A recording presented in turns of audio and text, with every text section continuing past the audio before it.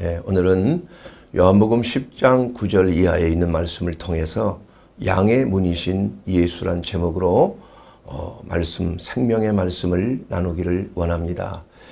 아, 좀 오래된 일이긴 하지만 어, 빌 클린턴 대통령이 우리나라를 방문했을 때 어, 그 나라 어, 우리나라의 그 대통령이었던 그 김영상 대통령께서 어, 그 글을 쓴 그 휘호를 하나를 전달을 했습니다.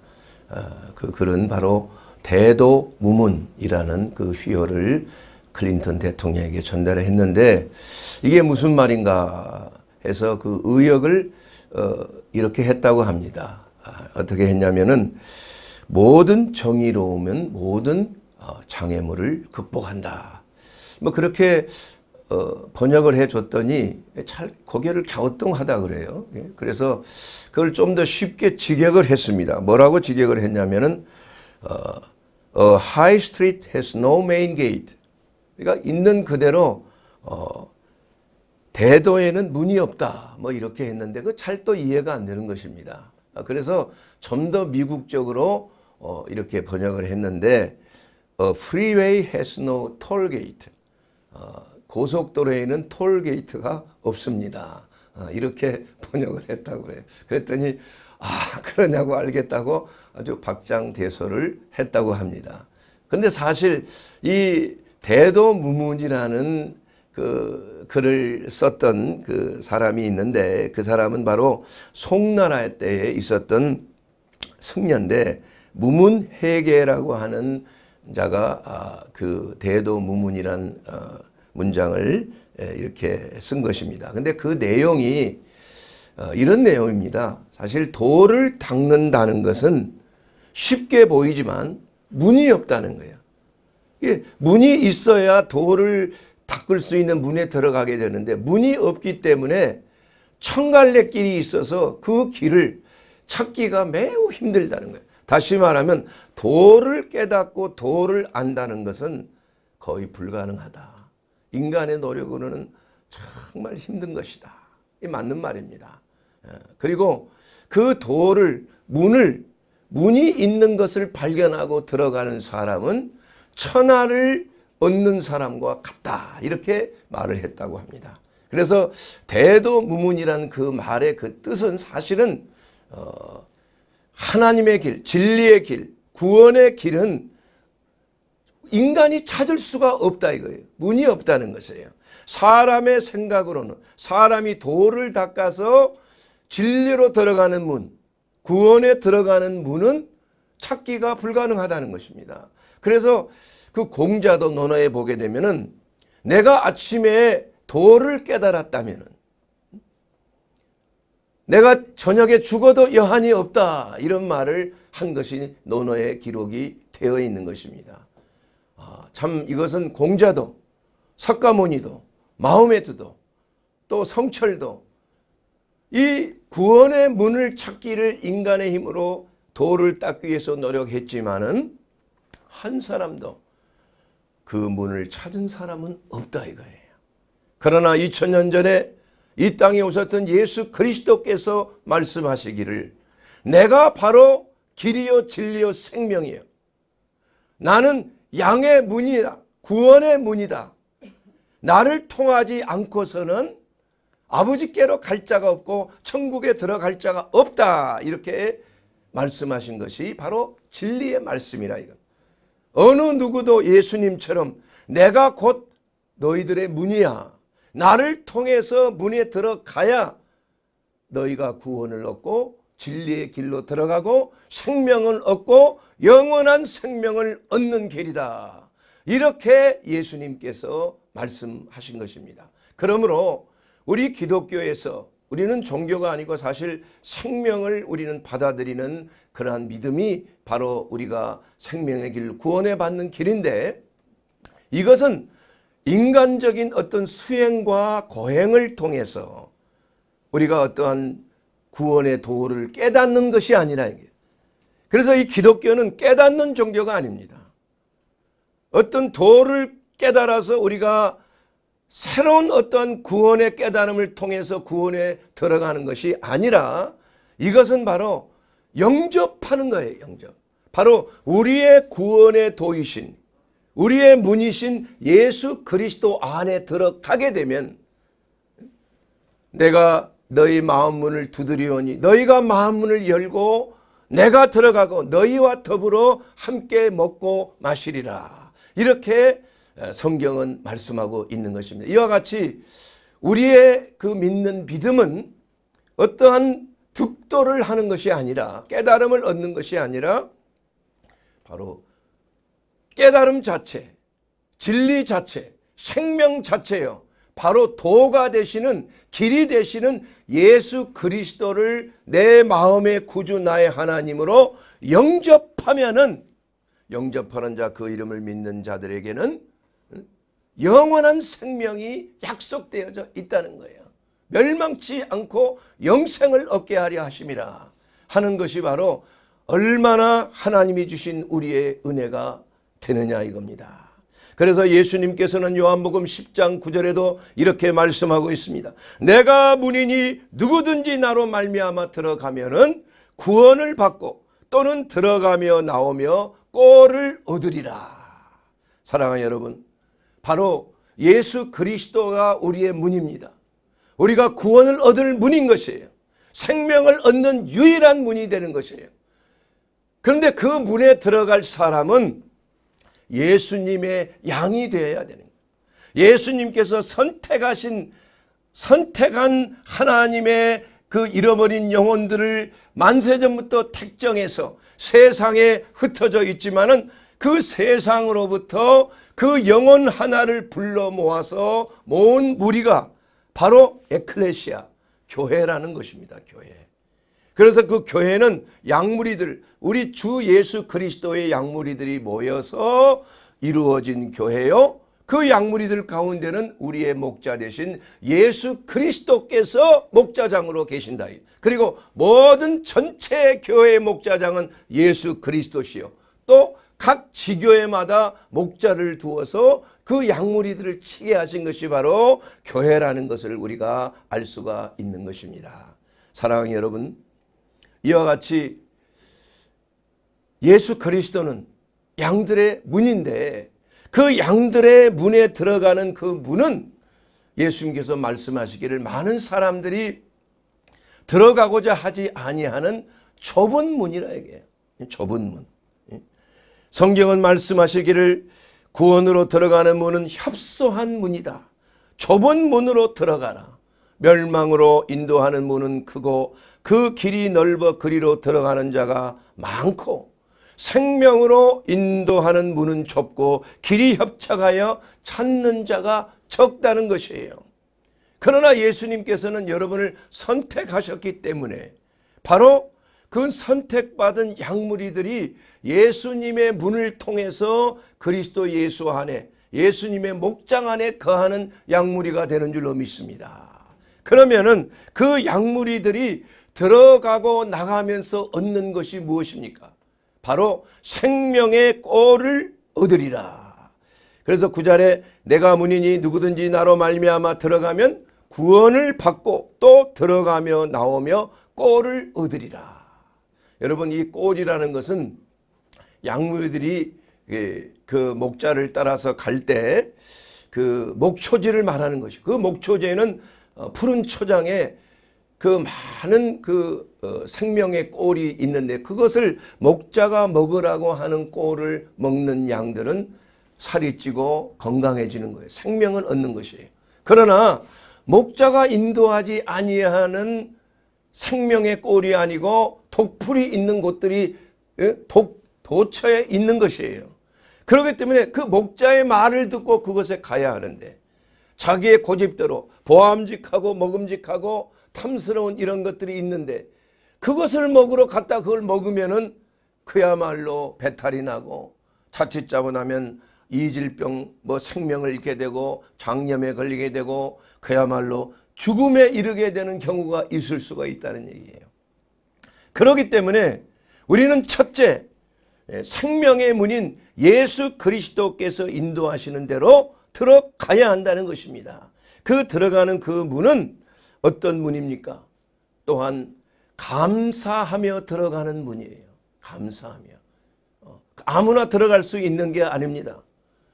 여러분이 집에 들어갈 때 비밀번호를 치고 들어가잖아요. 아니면 열쇠를 가 옛날 같으면 열쇠를 가지고 요새는 다 또 문이 있어가지고 번호 키가 있잖아요. 그래서 그 키를 알고 키를 쳐야 그 문에 들어갈 수가 있는 거예요. 그런데 그 예수님의 문은 어떤 문이신가? 시편 100편 3절에 보면 이렇게 나와 있어요. 우리는 그의 것이니 그의 백성이요 그의 기르시는 양이로다.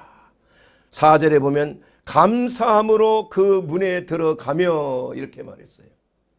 그러므로 우리가 예수 그리스도께 나아가고 그 문에 들어가기 위해서는 여러분이 예배를 드릴 때 감사함으로 들어오는 겁니다. 감사와 찬송함으로 예배를 드리는 거 아니에요? 그래서 감사함으로 그의 문에 들어가고 또한 찬송함으로 그의 궁정에 들어가서 그에게 감사하며 그 이름을 송축할지어다.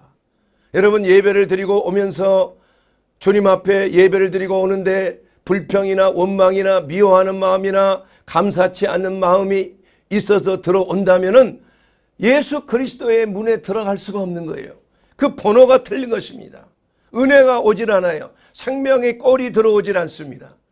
여러분의 그 건강과 여러분의 마음과 심령의 불안과 염려와 초조가 바로 감사의 문을 통해서 감사의 비밀번호를 침으로 인해서 주님의 문을 통과했을 때 우리 주 예수 그리스도께서는 여러분의 마음과 심령을 새롭게 하고 감사가 넘치게 하고 생명의 꼴을 넘치게 해주셔서 여러분의 몸과 마음이 그야말로 풍성한 생명과 건강으로 넘치게 되는 줄로 믿습니다. 이것이 바로 여러분의 삶 속에 필요한 우리가 예배 드릴 때 우리 주님 앞에 나올 때 우리가 신앙생활을 하면서 어, 항상 어, 우리가 범사에 감사하라. 쉬지 말고 기도하라. 항상 기뻐하라 하는 예수님께서 말씀하신 그대로 내가 주는 기쁨은 세상이 주는 것과 같지 아니에요. 내가 주는 평안은 세상이 주는 평안과 같지 아니하다 이거예요. 그렇기 때문에 우리가 예수님 앞에 나오면은 어, 우리의 삶이 감사가 넘치는 삶이 되는 줄로 믿습니다. 여러분 일을 하다가 한 일꾼이 밭에서 진주 하나를 발견했다 이거예요. 그런데 그 진주가 너무나 귀해서 아예 그 밭을 그냥 사버렸어요. 그러면 그 밭의 주인이 그 진주를 가질 수가 있는 거 아니에요? 그래서 그 밭을 사, 전 재산을 팔아서 그 밭을 산 사람이 참으로 기쁨과 희열이 넘쳐나서 어? 들어갈 때마다 그 밭에 들어갈 때마다 나갈 때마다 감사가 넘치는 삶이 되었다. 이렇게 천국을 예수님께서 비유를 하신 것입니다. 이와 같이 우리가 예수 그리스도의 문 바로 양들의 문에 들어갈 때 우리가 감사함으로 들어가고 또 감사함으로 문을 열고 들어갔을 때 그 여호와 하나님의 나라 그 궁정에서는 찬양이 넘치는 그러한 삶으로 변화가 되는 거예요. 그러므로 여러분의 삶 속에 얼마나 감사가 넘칩니까? 아니면 여러분의 삶 속에 감사가 있지 아니하고 불평과 원망이 있다면 그 문에 들어가지 않은 것입니다. 그 문에 들어가기 위해서는 여러분이 감사로서 그 비밀번호를 맞추고 들어가야 돼요. 예수님께서 약속하신 그 말씀 그대로 범사에 감사하게 되기를 주의 이름으로 축원합니다. 그렇게 되면은 여러분이 그 문에 들어가는 거예요. 생명의 꼴을 먹으러 들어가는 것입니다. 하나님의 은혜가 넘치는 삶으로 들어가는 것입니다. 또한 우리가 들어가는 양들이 들어가는 문은 어, 치유와 회복의 기름 부음이 넘치는 곳이다. 그래서 요한복음 10장 9절에도 나로 말미암아 들어가면 구원을 받고 이렇게 들어가며 나오며 꼴을 얻으리라. 사랑하는 여러분, 이 구원이란 이름은 어, 그 구약 시대에는 그 히브리어로 예수야입니다. 예수야. 예수야란 그 말은 바로 구원이라는 의미를 가지고 있어요. 그래서 예수님 이렇게 부르면은 나의 구원이요 나의 치유가 되시는 하나님이라는 그런 말입니다. 예. 그렇기 때문에 우리가 신약에서는 또한 구원이란 말은 소테리아. 그 소테리아란 말은 예수님께서 하셨던 모든 구원 사역을 다 포함하고 있는 은혜를 얻는다는 뜻입니다. 그 예수님의 사역이 어떤 사역입니까? 바로 천국 복음을 전하시는 어? 복음을 전파하는 사역 아닙니까? 복음을 듣고 아멘으로 화답하는 자에게 바로 생명의 꼴이 여러분에게 주어지는 것이에요. 또한 두 번째로는 말씀을 가르치는 것입니다. 우리 일상생활에서 필요한 여러 가지 지혜와 명철과 모든 방법과 도를 가르치는 거 아니에요. 그래서 하나님의 말씀은 내 발의 등이요 내 길의 빛이니이다. 우리의 삶에 있어서 여러분이 어떤 길이 옳은 길인가 내가 어떻게 해야 될까 또 내가 누구를 대할 때 어떤 말을 해야 될까 이런 것이 확실치 아니하다면 여러분 하나님의 말씀을 들어야 되는 것입니다. 여러분이 하나님의 말씀을 들으면은 바른 길을 찾게 되는 거예요. 주의 성령께서 그 사람에게 하나님의 기록된 말씀을 읽을 때 또 하나님의 기록된 말씀이 전파될 때 그 말씀을 듣는 자의 심령에 필요한 생명의 말씀 바로 레마의 말씀으로 들려지는 줄로 믿습니다. 그 레마의 말씀은 생명의 꼴이란 얘기예요. 바로 우리의 삶 속에 오늘 필요한 생명의 꼴 하나님의 말씀 말씀을 통해서 음성을 통해서 전해지는 그 말씀이 바로 생명의 꼴이라는 것이에요. 그 꼴을 먹고 그 꼴을 내가 내 삶 속에 적용할 때 그야말로 먹은 음식이 피가 되고 살이 되도록 잘 소화를 시킬 때 하나님의 말씀을 주야로 묵상하고 그 말씀이 어떤가 하여 성경을 상고하고 그 말씀이 내 삶 속에 그야말로 적용되는 말씀이 되었을 때 바로 그 말씀은 생명의 꼴이에요. 근데 그 생명의 꼴은 바로 예수 그리스도의 문, 감사의 문으로 들어가는 자에게 얻는 하나님의 그 꼴이 되는 것입니다. 하나님의 영혼의 양식이 되는 것입니다. 그렇기 때문에 예수님이 전하시는 그 천국 복음을 듣고 예수님께서 말씀하시는 그 말씀을 잘 양육을 받는 거예요. 예? 내 혼과 내 영과 내 몸, 내 혼적인 모든 양심과 의지와 감성과 지식과 이런 것들이 하나님의 말씀 안에서 순종해 나가는 거예요. 하나님의 말씀에 이것이라고 했을 때 내 뜻은 다른 것이야. 그래요. 하나님의 말씀과 내 뜻이 어긋날 때 그것이 바로 양심의 가책을 받는 거 아닙니까? 양심의 가책을 받으면 우리가 어떻게 해야 됩니까? 즉시 내 뜻을 버리고 성령의 음성, 하나님의 음성을 듣고 따라가야 된다 이거예요. 이것이 바로 양무리들이 해야 되는 생명의 꼴을 얻는 그러한 법칙이 자칫 잘못하면 이 세상의 철학, 이 세상에서 말하는 이런 여러 가지 이념체계, 이단들이 말하는 거짓말과 미혹, 마귀의 속삭임, 이러한 거짓된 것, 여기에 귀가 솔깃해서 그 음성을 따라 잘못된 미혹을 따라 가게 되면은 독풀을 먹게 된다 이게요. 그렇게 되면 우리의 몸과 마음이 다 상해지는 거 아니에요. 나중에 그것을 다 병원에 가서 토해내고 해독 주사를 맞고 장기간 입원해야 되고 또한 그 독소를 해독하는 정화요법을 써야 되는 거 아니겠습니까? 예? 그래서 그럼에도 불구하고 예수님께서는 그러한 병약한 자들을 어떻게 하셨어요? 치유하셨다 이거야. 각색 질병과 모든 연약함과 각색 질병을 고치셨다 이거예요.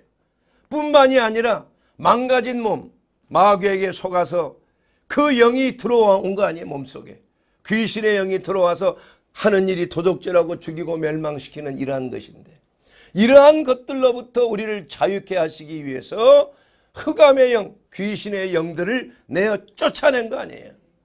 그래서 하나님께서는 나사렛 예수에게 성령과 능력을 기름 붓듯 하셨으며 저가 두루 다니며 착한 일을 행하시고 마귀에 눌린 모든 자를 고치셨다.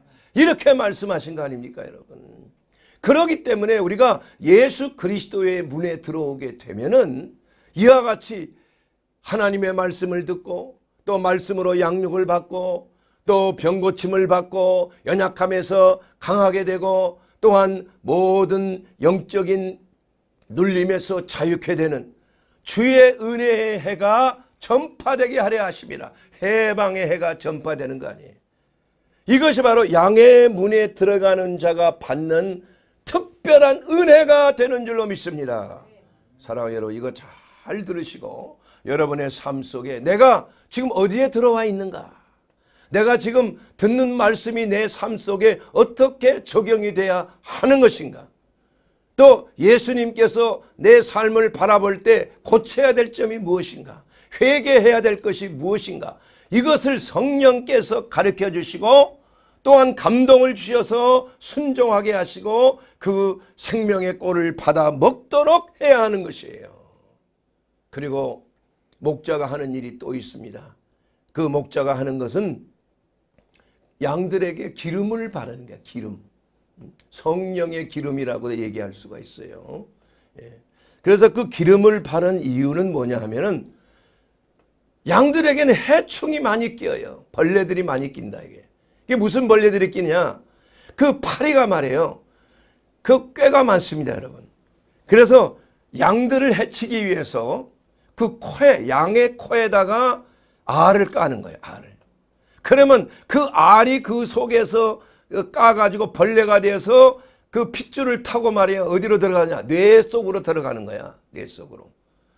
그렇게 해서 양들이 그 벌레가 뇌 속에 이렇게 자라게 되면 너무나 고통스럽고 괴로워서 그냥 머리를 그냥 막 나무에다 박고 그냥 막 죽으려고 그런다는 거라.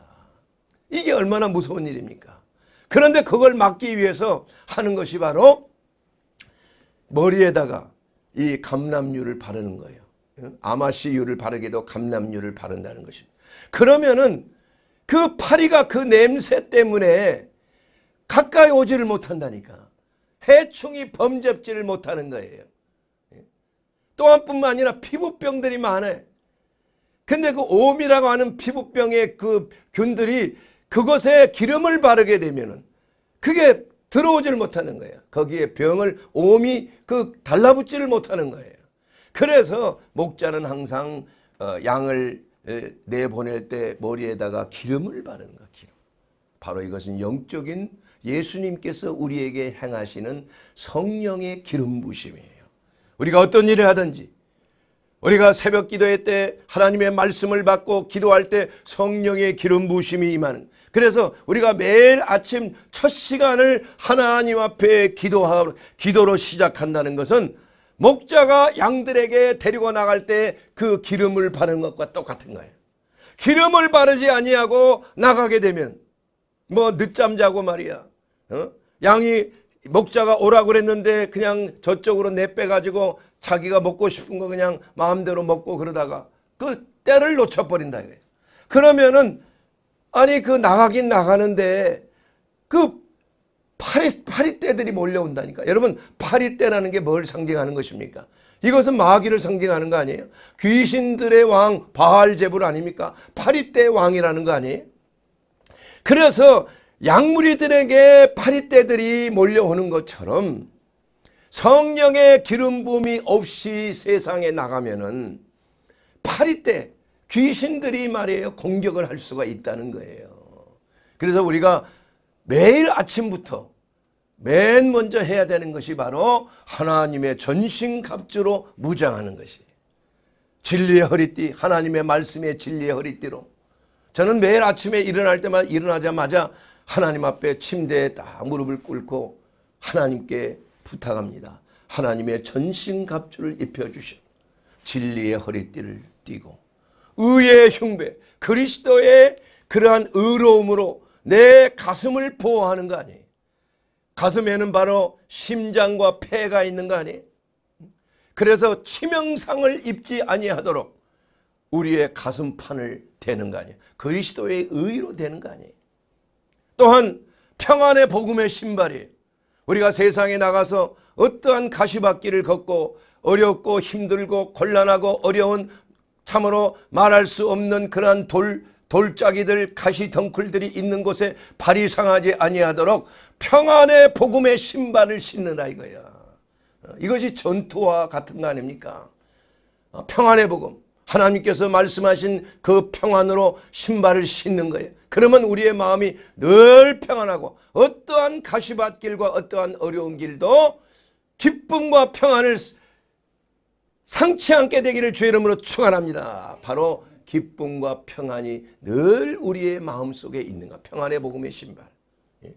그리고 믿음의 방패야 믿음의 방. 어떠한 사단의 불화살도 사람들을 통해서 오는 막 그 모욕적인 말, 상처를 주는 말, 예? 또 미혹하는 말, 어? 그리고 막 공격적인 말, 이러한 것들의 상처를 받지 않기 위해서는 믿음의 방패로 우리가 무장을 해야 된다 이거야. 예. 우리 하나님께서 우리에게 성령의 기름 부심을 주실 때 이러한 전신갑주로 무장하게 하는 거 아니에요. 또 구원의 투구를 쓰는 거 아니에요. 구원의 투구라는 것은 구원의 확신을 가지는 거 아니에요. 우리의 생각 속에 마귀가 범접지 못하도록 생각을 통해서 우리에게 미혹하고 거짓말하는 흑암의 권세, 마귀의 권세가 우리를 속이지 못하도록 구원의 투구를 쓰게 되면 우리는 마음을 지키게 되는 거 아니에요. 무릇 지킬 만한 것보다 내 마음을 지키는데 그 마음 속에는 생각들의 전쟁판이에요. 생각들의 전쟁. 그 생각들이 어떤 생각이 오느냐에 따라서 우리의 마음이 흑암에 어두움에 빼앗겠느냐 얼마만큼 빼앗 마음을 여러분 함부로 빼앗기지 말게 되기를 주의 이름으로 축원합니다. 여러분의 마음을 누가 빼앗기면 안 돼요. 여러분의 마음은 여러분이 주관을 해야 되는 거예요. 예? 그렇게 해야 모든 판단 기준이 하나님의 말씀 안에 바로 서게 되는 거야. 그래서 나의 의지와 내 생각과 내 말과 모든 행동이 바로 그리스도 예수 안에서 예수님께서 통제사령부에 앉아서 내 마음을 다스리도록 예수님께 그 권한을 드리는 거 아니에요. 그리고 우리는 예수님의 다루심대로 순종하면 되는 거 아니에요. 순종하면. 예수님은 어떤 경우에도 우리, 우리에게 강제적으로 하지 않는 것입니다. 예수님은 우리를 인도하실 때 마귀가 하는 것처럼 채찍질 하면서 나가지 않아요. 선한 목자는 앞장서서 나가는 거 아닙니까? 카우보이처럼 뒤에서 막, 막 돌려가면서 채찍으로 돌려가면서 하는 게 아니라 이거예요. 우리의 선한 목자 예수님은 바로 앞장서서 가시면서 양들에게 따라오라고 말씀하시는 거 아니에요. 그러기 때문에 우리는 이러한 그 영적 전장, 바로 광야에서 어? 우리가 인생을 살아가면서 우리의 목자 되신 예수 그리스도의 음성을 듣고 매일 아침마다 매일 새벽마다 매일 첫 시간에 하나님의 말씀의 검으로 무장해야 된다. 하나님의 전신갑주로 무장한 마지막으로 하나님의 말씀의 검이 바로 원수들을 무찌르는 그야말로 인생은 마지막 때에 우리가 믿는 자를 보겠느냐 할 정도로 모든 세상의 흐름은 믿음을 지키기가 매우 힘든 것이에요. 그러나 그 믿음을 지키기 위해서는 우리는 어떻게 해야 됩니까? 할렐루야! 사랑하는 여러분, 정신을 바짝 차리고 들으셔야 돼요. 예? 하나님의 생명의 말씀이 나갈 때 여러분 마귀가 그것을 듣지 못하도록 이렇게 자꾸 뭐 딴 생각하게 만드는 거예요. 어. 그러나 여러분이 귀를 반드시 깨워, 깨어 경성하며 하나님의 말씀을 귀를 기울이고 나가게 되면 여러분에게는 반드시 하나님이 주시는 놀라운 생명의 꼴이 기다리고 있는 거예요. 치유와 회복의 역사가 기다리고 있는 것입니다. 예. 그렇기 때문에 우리가 예배 드릴 때 하나님의 말씀이 선포될 때 정신을 바짝 차리고 이 레이다 양쪽에 있는 레이다를 다 고추 세우고 하나님의 생명의 말씀이 들어오도록 캐치해야 되는 가 받아들여야 된다 이겁니다. 사랑하는 여러분 그러기 때문에 예수님께서는 우리가 이 땅에 살면서 세상과 접해서 살면서 너희가 이 세상에서 환란을 당할 수는 있다 이거야. 그러나 담대하라는 거예요. 내가 세상을 이기었노라. 우리가 이 세상에서 싸움인데 그 세상의 싸움에서 이기기 위해서는 오늘 말씀하신 대로 하나님의 말씀을 듣고 하나님의 전신갑주로 무장하고 하나님의 생명의 말씀의 검으로 우리가 세상에 나가서 싸울 때 원수 마귀는 물러가게 되는 거예요. 여러분의 삶 속에 그 어둠이 있고 흑암의 권세가 있고 여러 가지 경제적인 문제, 가정의 문제, 직장의 문제 이러한 것들이 산재에 있는 거 아닙니까? 그러한 문제들을 해결하고 나가지 아니하면 이 세상에서 낙오가 되고 만다 이거야. 그러나 하나님께서는 여러분이 이 땅에서 잘되고 번성하고 정복하고 다스리기를 원하시는 하나님인 줄로 믿습니다. 여러분이 이 땅에서 크게 어디를 가든지 치고 말이야. 시험만 보면 어, 꼬레비하고 말이야. 직장에 뭐 어, 그러한 그 성질에서 탈락이 되고 이거 하나님이 원치 않은 거예요. 예? 하나님 여러분에게 원하시는 것은 모든 범사에 하나님의 역사하심이 있어서 우리를 승리케 하시는 하나님 예? 우리가 병들었을 때도 우리의 건강을 회복시켜 주시는 하나님 그러나 가장 좋은 것은 뭐예요? 병들지 아니하고 건강한 삶을 살도록 해 주시는 것이 가장 바람직한 것이라. 예. 여러분 병들고 나서 하나님 앞에 부르짖어 기도하면 예수님이 고쳐 주시지만 그러나 그 전에 여러분이 병 걸리지 말란 얘기예요. 병 걸린다는 것은 그게 하나님께 영광이 되지를 않습니다. 어, 그렇기 때문에 어, 너희 중에 병든 자가 있느냐? 그는 교회 장로를 청하여 기름을 주의 이름으로 기름을 바르며 그를 위하여 장로는 기도할지니라. 이 말씀은 무슨 말이냐면 병들었을 때에 목회자가 목자가 약물의 상처를 아픔을 치료하는 것처럼 교회에 있으면 그 목사님이 여러분의 병을 위하여 성령의 기름 부음을 받아 기도한다는 것을 말하는 것입니다. 그렇게 되면 믿음의 기도는 병든 자를 구원하리니 주께서 그를 일으키시리라 혹시 죄를 범하였을지라도 사함을 얻으리라. 여러분 성령의 기름 부음을 받은 것은 죄 사함을 받는 길이 열려지는 것이에요.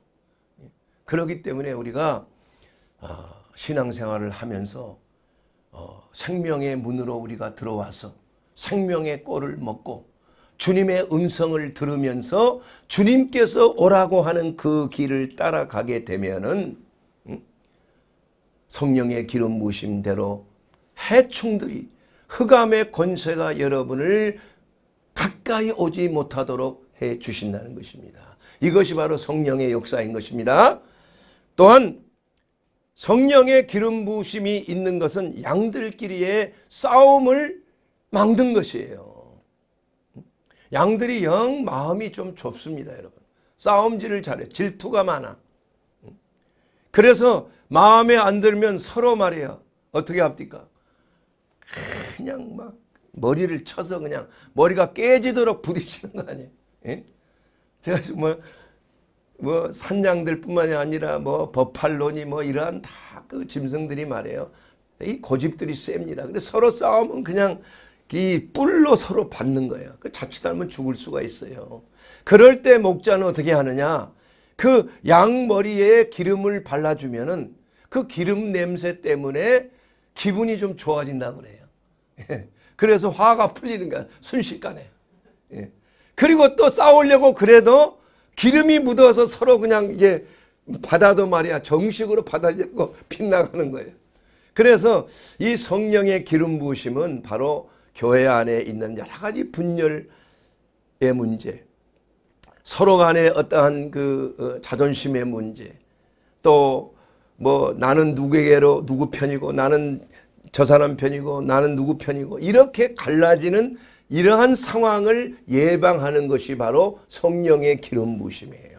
그래서 우리의 목자장이신 예수 그리스도, 우리 교회의 머리 되신 예수 그리스도께서 모든 양무리들에게 성령의 기름을 발라 주실 때 여러분 꼭 빠지지 말고 다 받게 되기를 주의 이름으로 축원합니다.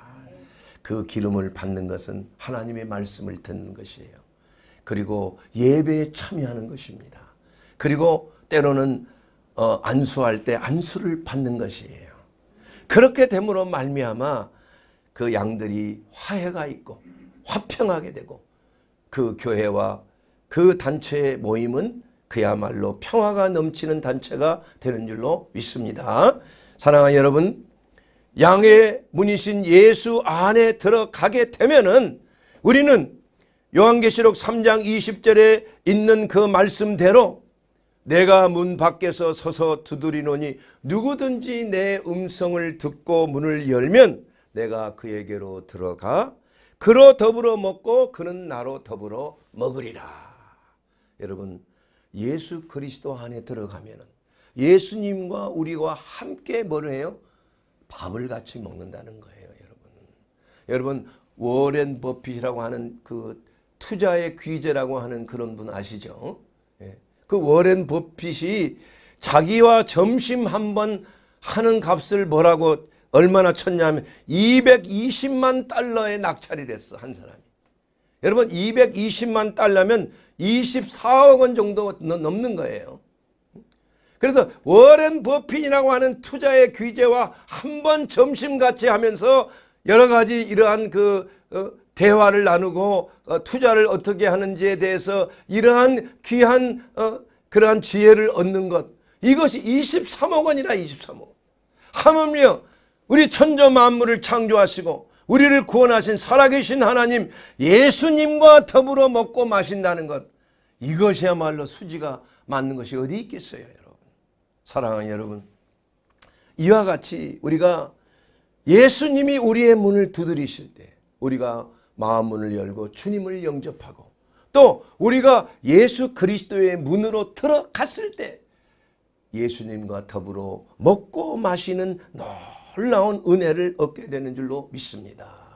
그렇게 되게 되면은 하나님께서 약속하신 축복의 복이 있다는 얘기예요. 그 복은 무엇입니까? 바로 문을 들어가고 나갈 때 복을 받는 거예요. 미국에 가니까 인앤아웃이라는 그러한 그 햄버거 집이 있어요. 한번 가봤어요. LA에 가서. 근데 그 집엔 사람들이 미어 터져요. 그 보니까 뭐 그날 그, 그 감자도 그렇고 그날 그 치킨도 그렇고 그날 잡은 것, 그날 수확한 것을 그대로 그냥 하고 지나면 버린다고 그래요. 얼마나 싱싱한지 몰라. 거기에 보니까 성경 구절 바로 이 말씀 신명기 28장 6절의 말씀이 딱 적어, 적어 있어. 내가 들어와도 복을 받고 나가도 복을 받는다는 거예요. 얼마나 감사한 일입니까? 우리가 예수 그리스도의 문 안으로 들어가고 나갈 때마다 우리에게 복을 주시는 하나님 할렐루야. 그런데 그 하나님께서는 그 나라가 예수를 믿고 그 민족이 예수를 믿고 다시 말하면 민족의 복음화가 이루어지게 된다면 그 민족이 복을 받는 거 아닙니까? 그리고 뛰어난 민족이 된다. 선진국이 된다는 거예요. 이 말씀이 지금 그대로 적용이 된 거 아닙니까? 주의 복음이 말이요. 그 로마에게 전파되고 그 로마가 강성하여지고 로마가 이제는 팍스 로마, 니카 돼서 유럽 전체의 로마의 식민지가 되고 그로 말미암아 복음이 전해졌을 때 게르만족이요 바이킹족 같이 아버지 비문명국 아닙니까 야만족들 아니에요 원래가 예? 문화가 있는 그렇게 대단한 문화가 있는 민족이 아니잖아요. 유목민족이었으니까. 그러한 민족들이 예수 믿고 복음 전해받고 깨달음이 있고 변화가 있고 문의 부흥이 일어났다 이거야. 그래서 영국이 독일이 프랑스가 선진국에 들어간 거 아니에요. 그 복음을 가지고 전 세계에 복음을 전파했고 그 복음이 또한 미국에 들어가서 그 미국에 어떤 문화가 있었습니까? 아무 문화도 없었지요. 어? 그 미국이 250년, 300년도 안 된 문화 아닙니까? 그런 가운데 복음이 들어가니까 세계 가장 뛰어난 민족이 되겠다고 오늘 이 신명기에 약속하신 그 말씀 그대로 됐다 이겁니다 여러분. 민족의 뛰어난 민족이 돼요. 우리나라도 예수 그리스도의 복음을 받고 그야말로 단군 이래의 최고의 번영을 누리는 경제적인 축복을 누리는 예? 이러한 나라가 됐지 않습니까 지금 그러나 그 복음의 열기가 식어지고 온 지금 유럽에도 그 복음의 열기가 식어지고 무슬림들이 들어오고 미국에도 그 이러한 그 하나님의 말씀을 가르치고 그 어? 이러한 성경을 가르치는 학교에서 그 가르침이 사라지고 이러한 것들이 이제는 종교의 어떠한 그 어? 편중을 없애자 어? 차별을 없애자 이렇게 하는 바람에 기독교 문화가 완전히 하나님의 말씀이 점점점 소멸되지 않아요. 그렇게 되면서 나라도 쇠약해지는 것입니다. 여러분. 사랑하는 여러분 우리가 예수님의 문으로 들어가면 들어갈 때 나갈 때 하나님이 복을 주신다고 약속하신 거예요. 그리고 또한 장소의 복을 받는다. 신명기 28장 2절에 보면 나와 있습니다. 내가 하나님 말씀 여호와의 말씀을 청종하면 이 모든 복이 내게 임하여 내게 이르더니 성읍에서도 복을 받고 들에서도 복을 받고 또 자녀들이 복을 받는다 이거예요. 여러분 이것은 기복적인 이러한 신앙이 아니에요. 여러분 기복적인 신앙이라는 건 다른 게 아닙니다. 기복이라는 것은 하나님의 말씀에 순종하지 아니하고 하나님의 나라와 그 의를 구하지 아니하고 그저 성공하고 번영하고 잘되고 건강한 것을 추구하는 그러한 그 신앙이 기복적인 신앙이라고 그래요. 그런데 그렇게 해서 복을 받습니까 여러분? 여러분 노력하지 아니하고 하나님의 말씀대로 살지 아니하고 과연 그 사람이 성공할 수 있을까요? 하나님의 가르침대로 순종하지 아니하는 사람이 그야말로 그 세상에서 으뜸이 될 수가 있습니까?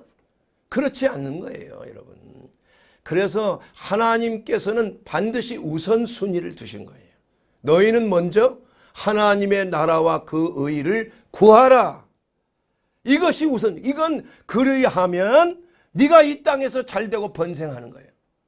이것이 두 번째로 나오는 결과의 모습이라는 것이에요. 그런데 그 하나님의 나라와 그 일을 구하는 것을 도외시하고 번영과 성공을 구한다면 그렇게 될 수가 없다는 것이에요. 그래서 요한 3서의 그 1장 2절에 나온 말씀대로 내 영혼이 잘됨과 같이 영혼이 잘 되지 아니하면 범사가 잘 될 수가 없다는 것입니다. 여러분 믿습니까? 사랑하는 여러분. 이와 같이 여러분이 정말 범사가 잘 되고 여러분의 자녀가 잘 되고 들어가도 나가도 복을 받고 여러분의 자녀가 여러분 자신이 꼬리가 되지 않고 머리가 되는 그러한 복을 얻기를 원합니까? 한 사람도 아마 그러한 복을 원치 않는 사람 한 사람도 없을 거예요.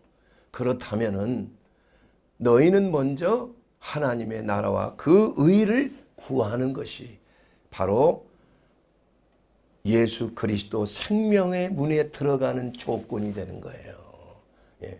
예. 그런 자가 문에 들어간다는 그 말은 하나님의 선택된 백성으로서 하나님의 말씀에 순종하고 그 말씀에 따라 행하는 자가 되었을 때에 예. 들어가면서 나가면서 여러분의 삶이 풍성한 생명과 또 건강과 번영이 되는 이러한 하나님의 풍성한 생명을 누리게 되는 줄로 믿습니다. 그러기 위해서 우리가 어떻게 해야 됩니까? 우리의 문은 예수 그리스도이십니다. 어느 누구도 예수님을 통하지 아니하고서는 천국에 들어갈 수가 없습니다. 예수를 통하지 아니하고서는 생명의 꼴을 얻을 수가 없습니다. 예수를 통하지 아니하고서는 우리가 번영할 수가 없는 것이에요. 여러분 생명은 곧 성공이요 번영인 것입니다. 여러분 생명이 넘치는 삶을 살기를 원하십니까? 그렇다면 예수 그리스도를 나의 하나님 나의 구주로 영접하면 영접하는 자 그 이름을 믿는 자들에게는 멸망치 않고 영원한 생명을 우리에게 얻게 해 주시는 것이다 이겁니다. 여러분 예수 그리스도는 우리의 문입니다. 우리의 길이요 우리의 진리가 되는 것입니다. 많은 사람들이 그 문을 적다고 협소하다고 찾지 아니하다 아니하지만 그러나 저와 여러분은 그 문에 들어선 사람들이에요. 하나님의 생명의 꼴을 먹는 사람인 줄로 믿습니다. 그러나 아직까지 그 문 밖에 있다면 바로 예수 그리스도가 우리의 구원의 문이요. 여러분의 구원의 문이요. 여러분이 이 땅에서 잘 될 뿐만이 아니라 영원한 생명을 얻는 유일한 문이 되신 것을 믿고 예수 안으로 들어오게 되기를 주의 이름으로 축원합니다. 그렇게 되면 여러분이 영원히 잘될 수 있습니다. 하나님의 나라와 그 의를 구할 수 있게 되는 거예요. 그러면 여러분의 범사가 여러분의 가정과 여러분의 일터와 여러분의 사업터와 여러분의 자녀들과 모든 범사가 그리스도 예수 안에서 생명을 얻되 더욱 풍성하게 얻게 될 줄로 믿습니다.